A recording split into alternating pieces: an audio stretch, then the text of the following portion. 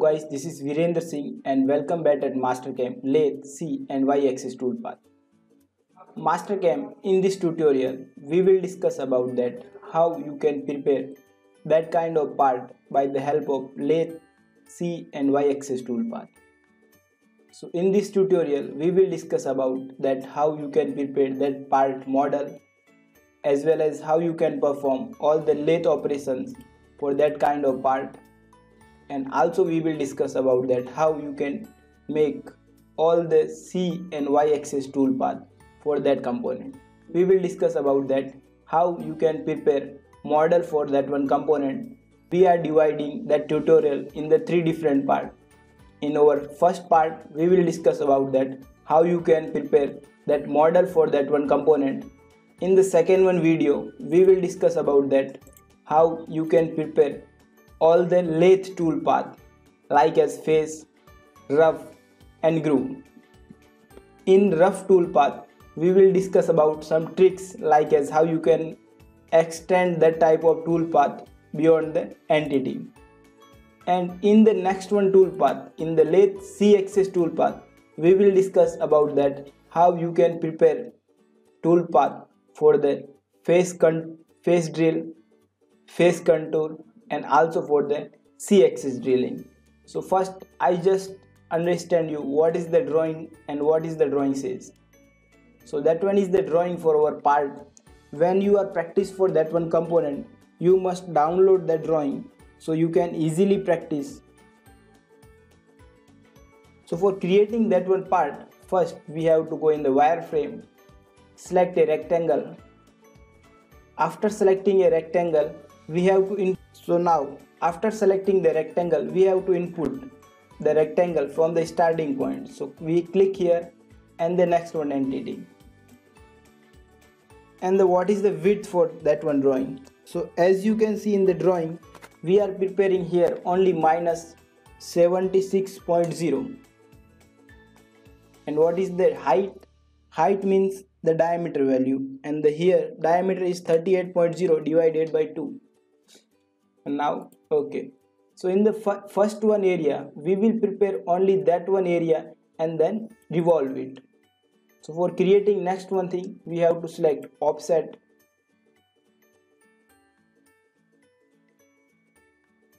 Select this one line and click that area. That side. Now what is the dimension from the this one line? The first one dimension is 19 mm distance from this line. Again click this line. Select click on this one area and the next one dimension is again 25.5 again click ok. Select the entity and click on this side. And the next one dimension is 38.5 38.0 as per the drawing.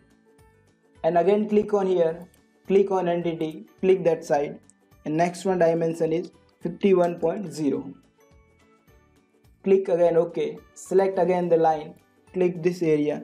And the next one entity dimension is 57.0 so now we are preparing all the necessary dimension by the help of offset command. Click divide and here select break. After selecting the break we have to break all the entity from this one line. So, so now we break all the entity now the next one process is click on the offset tab. Click this line click on that one line and click upper side area. Now what is the diameter size for this? The diameter value is 30.5 divided by 2 click ok and again here. Click here and ok. So again what is the size for the diameter value? The same now click ok. Now we remove all unwanted entity and all unwanted dimensions. For delete all unwanted dimensions we click on the divide and now change to trim. Remove that one. Remove that one.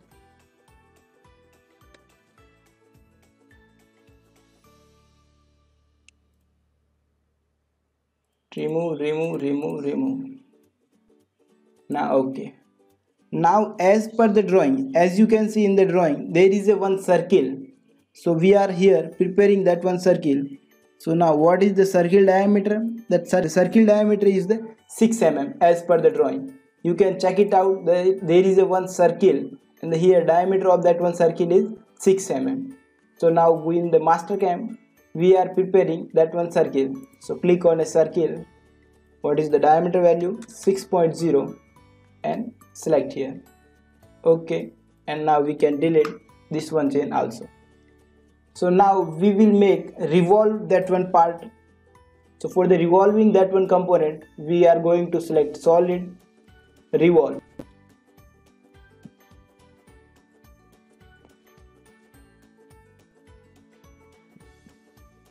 After clicking on the revolve tab now we have to select our chain and ok now we have to select a center entity. So there is a one center entity.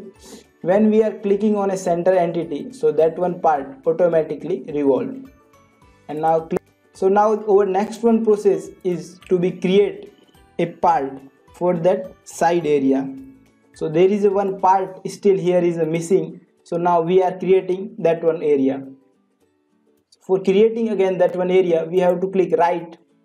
And now G view and left and here now we are creating a block for creating a block, we are going to select wireframe, rectangle side area and rectangular shape. Now we have to select what is the center point of this circle and we must be sure you have to click from origin. Click at OK at any one place and now we have to input what is the dimension. So dimension is 50 and again in here 50 mm so now at the fillet area what is the radius of that one area? Is the 12 mm and now click ok. So we are preparing that one wireframe entity for this area. Extrude that one entity. So for extrude that one entity we have to select solid extrude select the chain click ok. So it will be automatically extrude. So what is the exact dimension for that one entity? It is the 101 minus 76 so it is the total distance is 25 mm now we are creating add boss and ok. So there is a one solid complete solid we are preparing. Now as per the drawing there is a one thing is still missing and that one is the hole for the face area. As you can see in the drawing model there is four holes in the face area and the all holes dimensions are still at this here. So as per drawing we will create hole for this area. For creating hole on this area we have to click right click and select on the now for creating hole on the face of the workpiece we will create right click and select right view. After clicking on the right view we have to going in the wireframe and bolt circle. Now we have to input a value that what is the origin position. We are providing the origin position. Now what how many circles are here? There are total number of four circles. What is the diameter for the pcd pcd diameter is as per the drawing it is the diameter of 19 mm so there is our four holes are now created. So now what is the diameter for all these holes? So all these hole diameter is 6 mm okay. So now as you can see all the holes are created and the diameter is 6 mm now click ok and again select this one entity now there are the holes. There is one chamfer like area.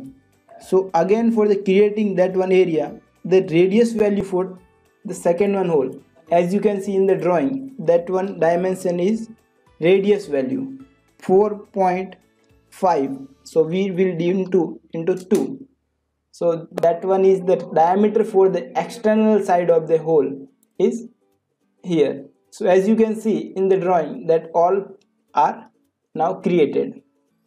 So now we have to extrude or remove that one hole from that one solid part. So for that one for going in the solid click on the extrude select all these inside hole area.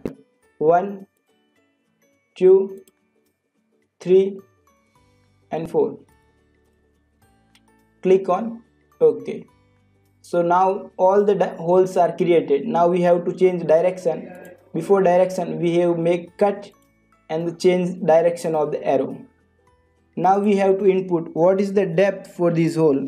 So as per the drawing drill depth is 12.0 so we are creating all the holes for all these holes this is 12.0 so as you can see in the drawing all holes are done and the dimension is 12.0 now in the model we have to create that one the chamfer for this one corner. So for creating chamfer we are going to select one chamfer. Click select select and select. We are selecting all the four holes and now what is the distance? It is 1.5 so now as you can see the all mod at the model area chamfer is now also done now as per the model as you can see the model is prepared but still one thing is missing and that one is as per the drawing this one hole from the center of this area. This dimension is still available. Now how we can create that one area hole? So let me show you. For creating that one hole we are as you can see in the wireframe starting wireframe tab we are creating that one hole in a wire for creating hole select on the extrude select that entity now okay. Now we click cut body and click on throw hole and now click at the both side and now okay. So as you can see in the model all model is done as per the dimensions of the drawing so you can also practice that one. So in the next one video we will discuss about that how you can prepare lathe toolpath for